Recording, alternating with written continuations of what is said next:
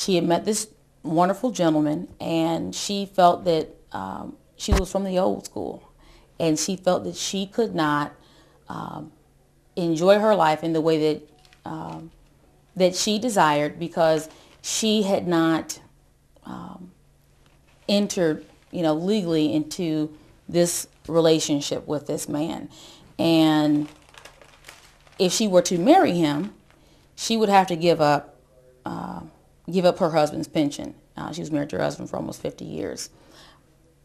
That played on my heartstrings. But I also feel like, and just in terms of two men and two women, if that's what you choose to do, and you legally want to go into a contract, that's your business.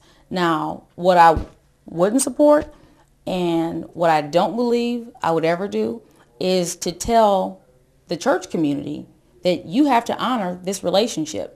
No church has to honor the relationship that a couple enters into legally. Okay, now just to play devil's advocate though, everybody's worried about, oh, if you start smoking marijuana, then you're going to be strung out on the street, homeless, smoking crack and stuff like that. But what about, uh, you, you talk about access and stuff like that to it. What about things like tobacco? What about things like alcohol that some people are deeming far worse than marijuana? And then mm-hmm. you got people that well, if I can't have marijuana, I'll just use codeine, but now I end up taking code 10, 10 20 a day. Mm-hmm. Because there's people out there doing 20 Vicodin a day. Well, what, what, what, how do you feel about that versus what people are deeming marijuana as just a not harmless drug? Of course, we know not that, but um, just, just how, how, do you compare the two? And how do you say no to I mean, one and yes to the other? Here, here's the issue. Um, the basis of why Vicodin exists people, you can abuse anything. You know, if, if you really want to, you can go in that bathroom and you can huff that air freshener. If you want to and you you know you want to feel a buzz or high you can huff some air freshener. So the reality is if people want to find a way um, to abuse a substance they will. Um, people are sniffing bath salts now to get high. So it's not as if we have the ability to um, control everything. And um, to put um, to wrap government's hands around everything per se.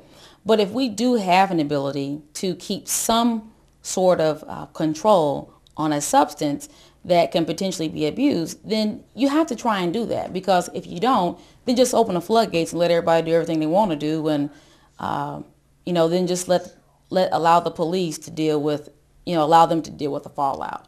Um, I think that oftentimes you do have people that abuse uh, codeine, syrup, and all kinds of you know, and all kinds of other uh, illicit drugs. Some illegal, some legal.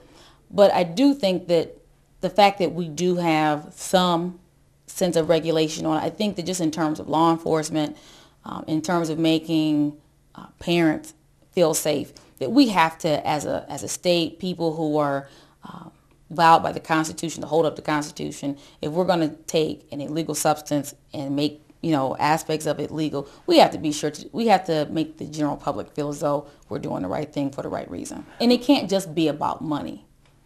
Well, what do you make uh, of all the violence? Last year we had you know the highest amount of homicides we had since 89. We've had two homicides so far this year. What do you make of all this violence in your district? You know what? I feel, I feel like not enough young people dream.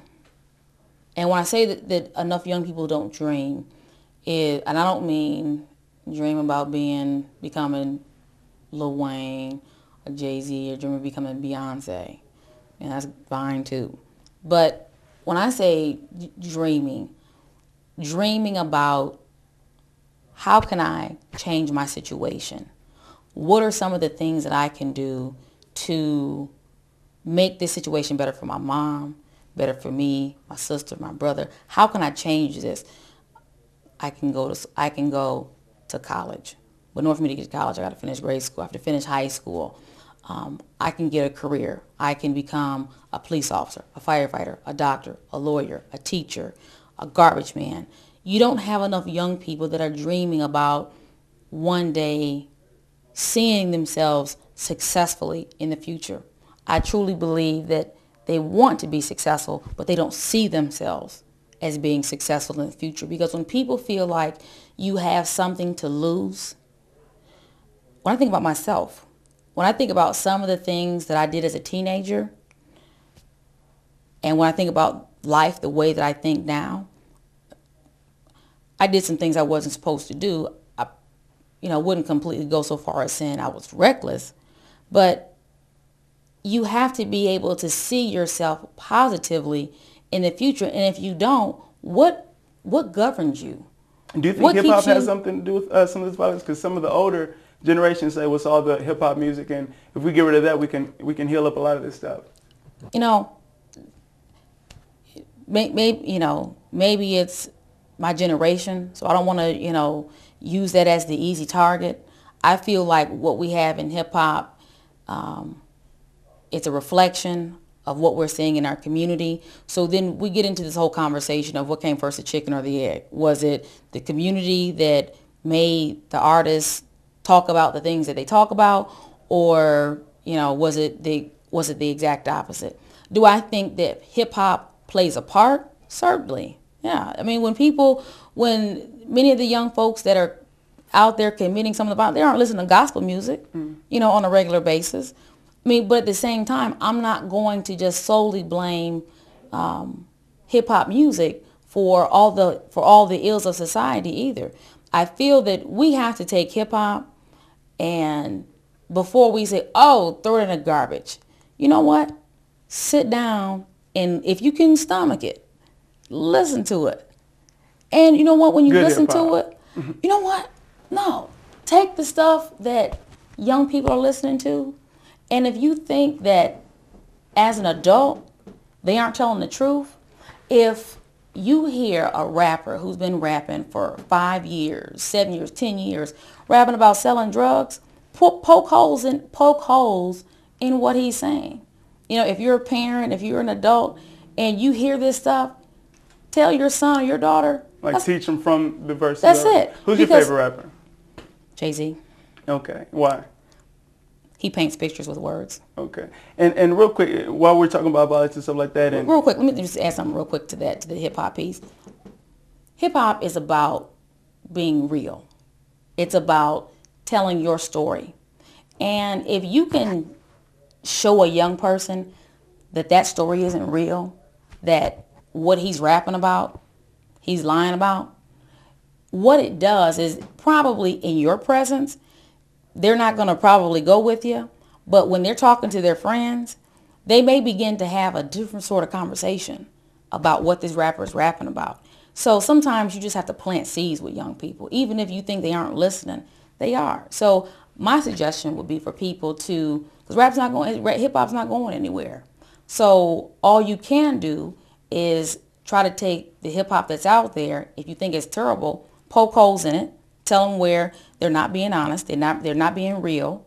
And then if you hear something that isn't so terrible, you know, hopefully, um, tell them why that's so good, and tell them why that is more in line with reality and more in line with the life that they're probably leading. You uh, you briefly mentioned your uh, teenage life and just uh, not exactly just being the same person that you are. Uh, I googled your name not too long ago, just uh, you know, in, in prep for this interview, and I couldn't Google your name without it coming up, Jehan Gordon shoplifting, mm-hmm. and that was one of the hurdles that you had to overcome uh, when you were trying to get elected the first time. How how did you rise above that? Hard work. You know, the reality of it was that when you when you decide to run for office, anything that you've ever done in your life is going to be out there on the table for the world to see. And for me, what I did when my opponent decided to use um, one of my teenage indiscretions against me in a political campaign 10 years later, what I did was I continued to work. You know, I continued to talk to people as I had been before, and I allowed them to see the woman that I am today. Do you feel like that type of stuff in the campaign is off limits? No, I don't. I feel like that was something that they wanted to use. I feel like they wanted to try to, they wanted to try to paint me as though that was the woman that I am today. And that isn't. It's far from the truth. And the reality of it is, um, as I got out into the community and I began to talk about, talk to people, many people told me that's exactly why um, they would never run for office because they did this in their life or their husband did that. And if they ever decided to run for office, all of that stuff would be out there for the world to see. And I told them that I would often say, but if your desire to serve is bigger than the hurt that you would feel from some public humiliation, because that is what it is, it's mm-hmm. public humiliation. But if your desire to serve is stronger than that, then you have to do it. Um, but if you're, uh, if you want to preserve your feelings and you want to, uh, if you feel like you're a little tender, then I'd probably suggest that politics is not the arena for you. But I, I, I personally feel that in my life, me having the opportunity to do this is bigger than me. Um, I feel like because this was not something that I dreamed about, it wasn't something that was a goal of mine.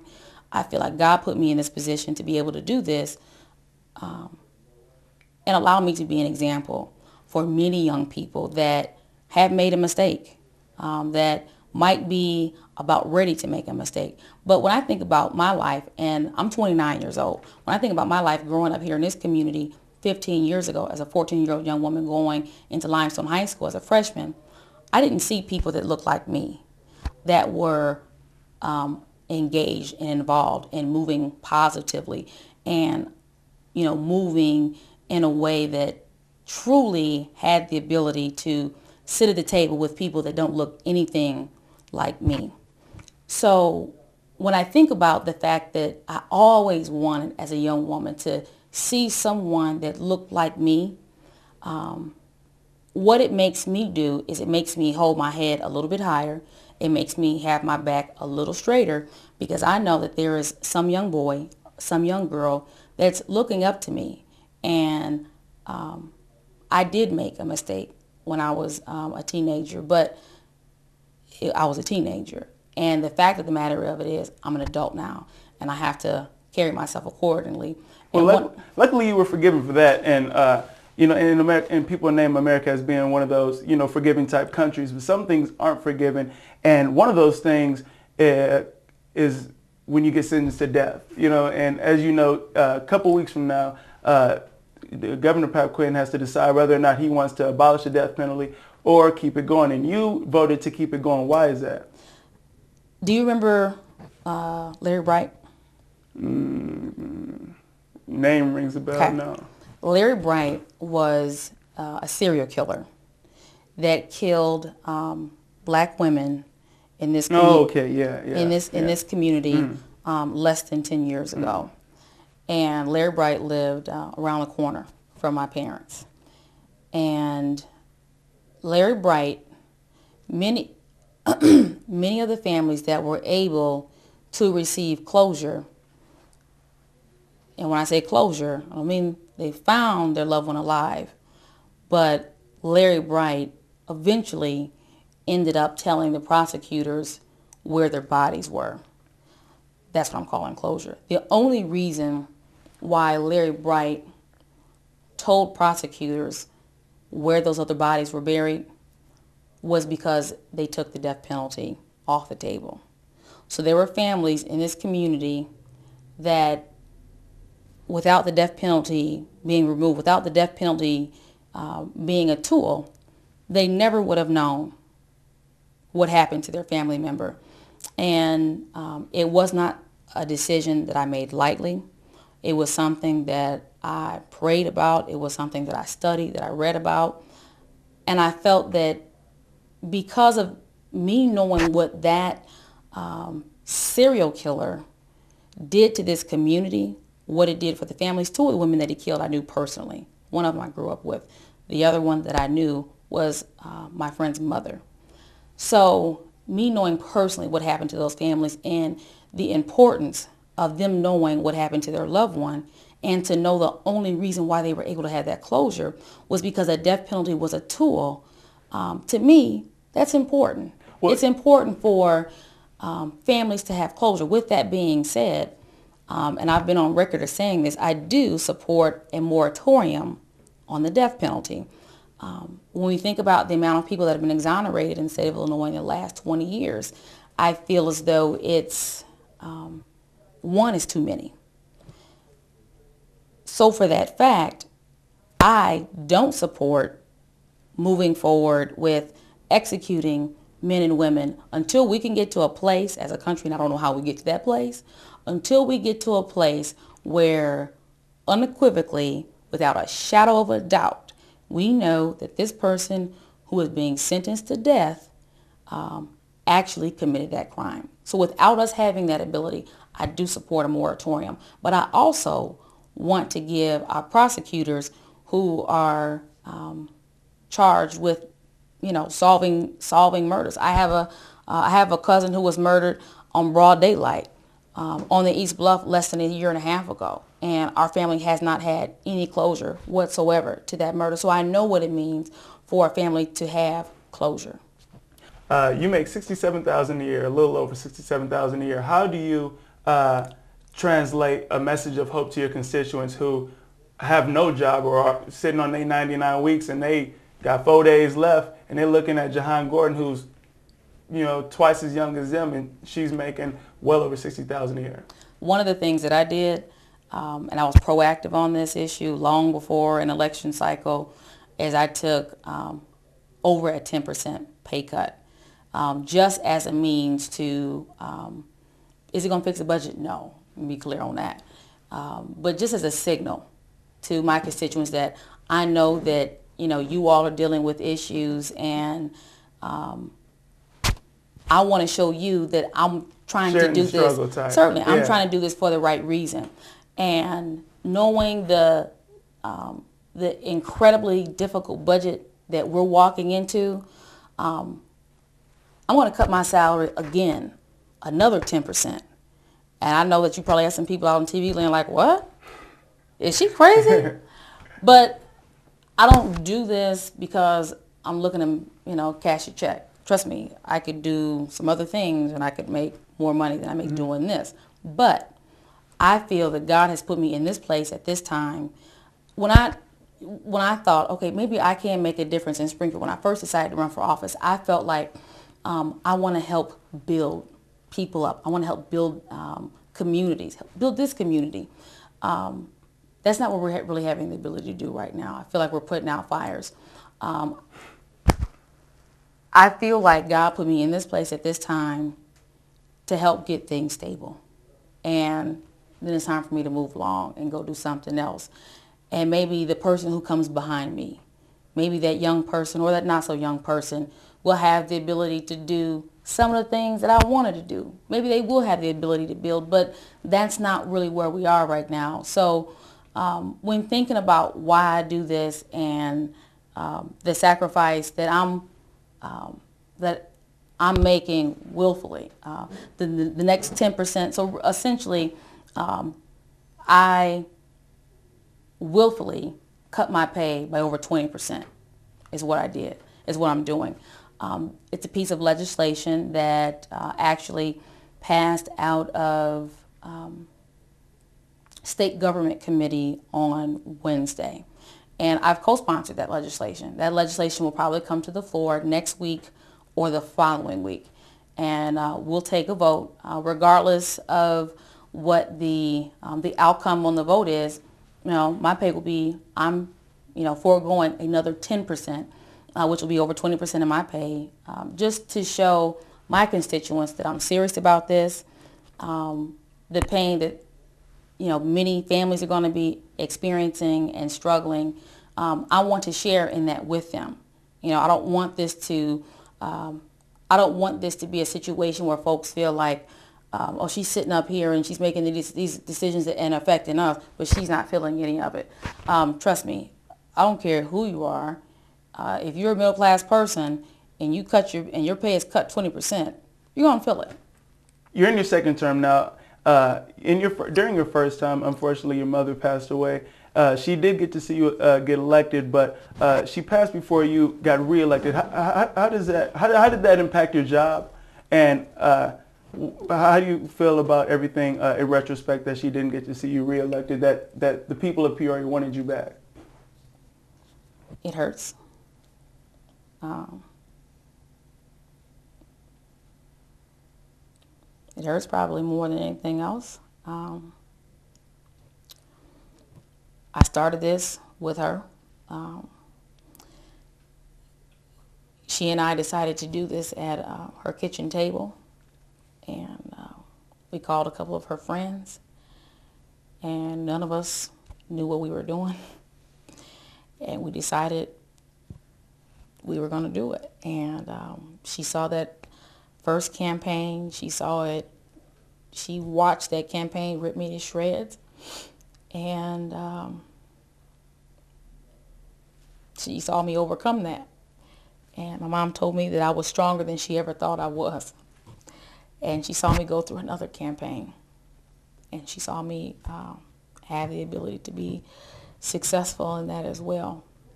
Um, but oftentimes, uh, we don't know uh, what's going to happen to us. We don't know what's going to happen to our loved ones.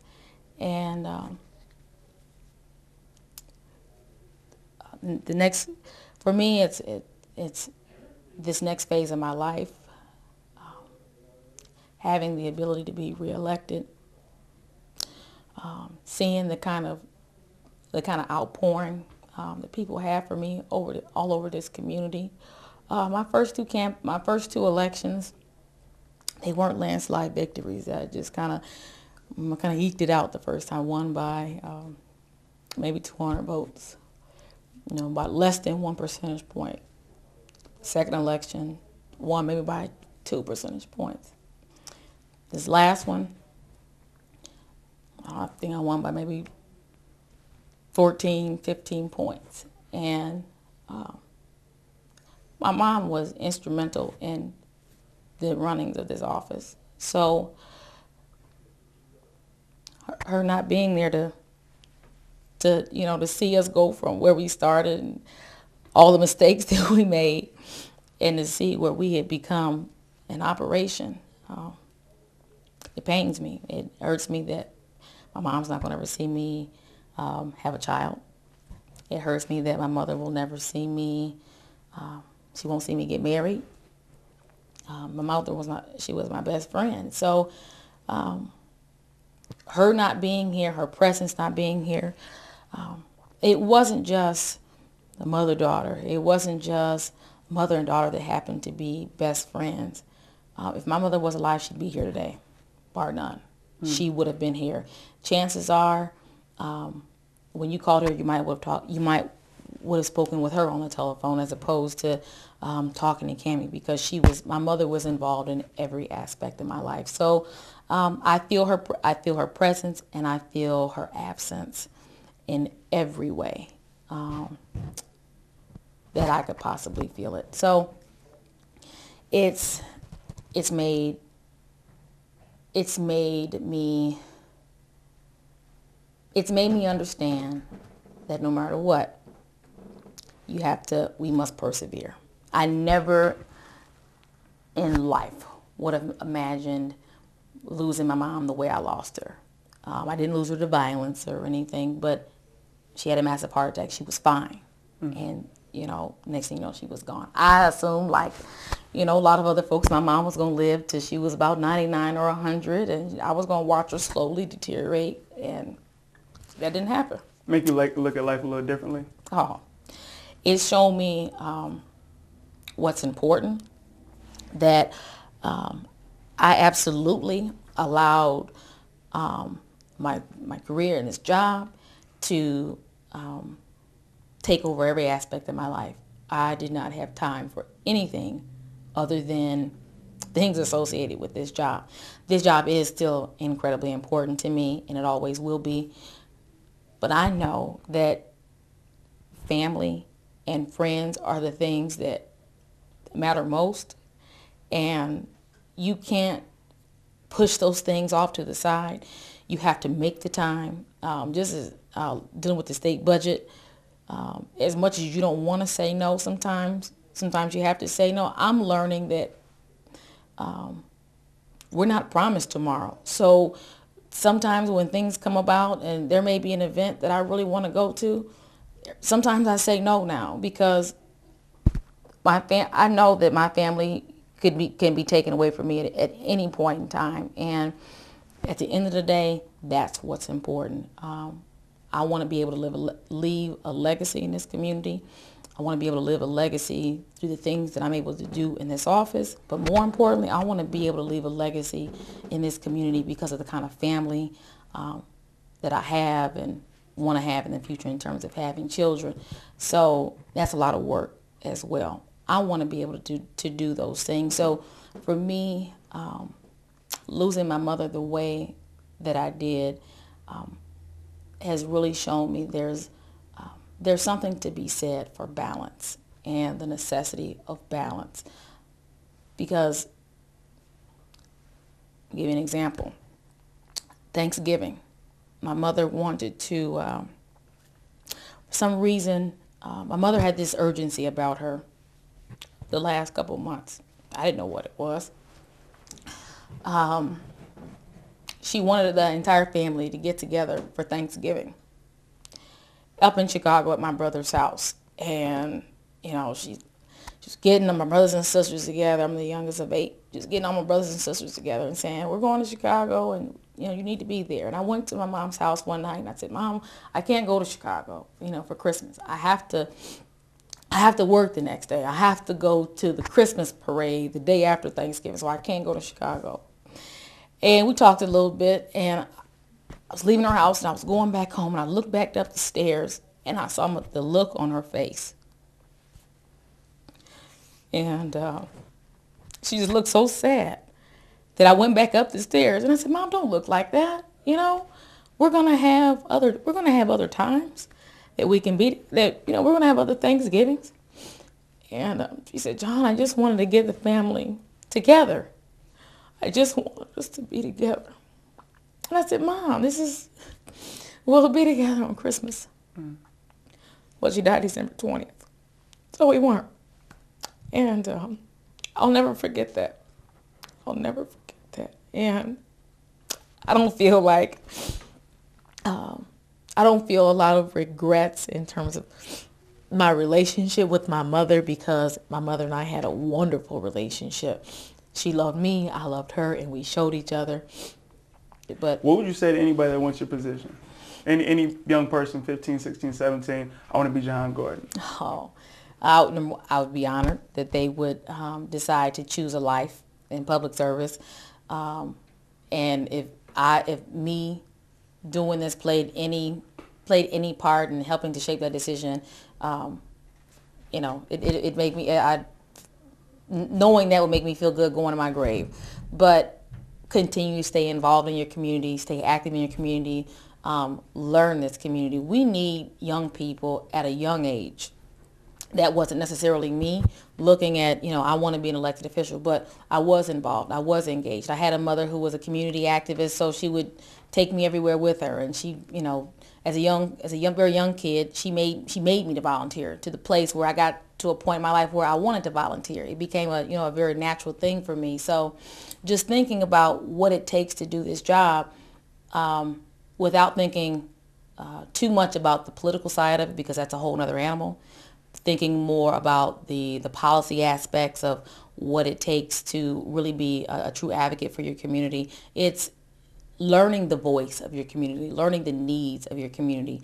Um, as a public servant, we, you know, our job is to serve. So in order to really serve your community, um, you need your community to place an order. You know, you need to know what your community wants, what they need, so you can serve them.